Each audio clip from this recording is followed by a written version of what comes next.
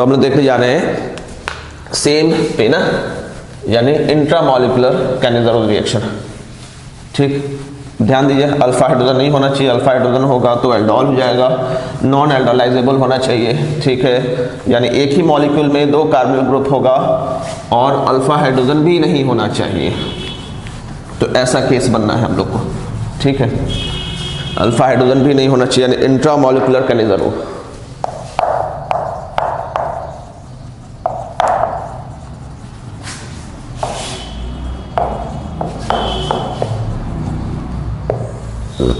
ठीक है।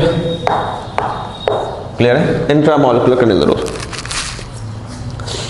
तो कोई अल्फ़ा हाइड्रोजन नहीं चाहिए। ठीक, और दो कार्बन तो ऐसा कब पॉसिबल होगा? एक भी अल्फ़ा हाइड्रोजन नहीं चाहिए, ध्यान दीजिए।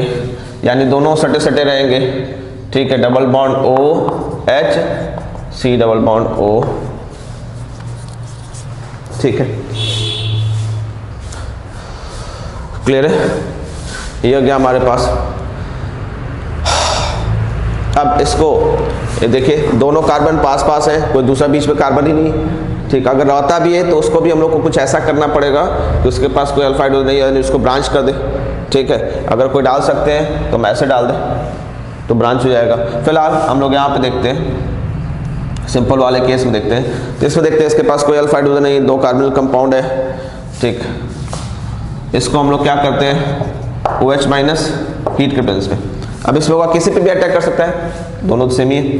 तो किसी पे एक न्यूक्लियोफिलिक अटैक होगा, यहाँ जाएगा।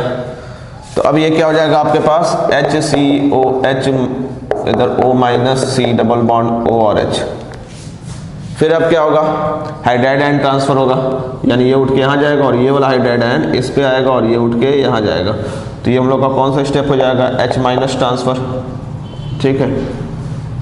तो ये हमारे पास आ जाएगा C double bond O O H यहाँ पर आ जाएगा हमारे पास C H two O minus फिर यहाँ से प्रोटॉन एक्सचेंज होगा, H प्लस ट्रांसफ़र होगा। ठीक है? तो ये क्या जाएगा हमारे पास? C O O minus C H two O H clear है? कोई कष्ट? तो ये आ जाएगा हमारे पास। तो ये हमारा क्या हो गया? इंट्रामोलिकुलर कैनेजरो रिएक्शन परफेक्ट है? कोई टेंशन तो ध्यान दीजिए, जहाँ पे भी ऐसा केस आएगा कि नॉन एल्डोलाइजेबल कोई एल्डिहाइड है कार्बन कंपाउंड है तो उस केस में अगर दो ऐसे कार्बन कंपाउंड्स हैं जो जिनके पास अल्फ़ा हाइड्रोजन नहीं, और स्ट्रॉन्ग बेस के प्रेजेंस में अगर हम हीट करें तो पक्के तौर पर क्या जाएँगे? कैनिजरोस ठीक है?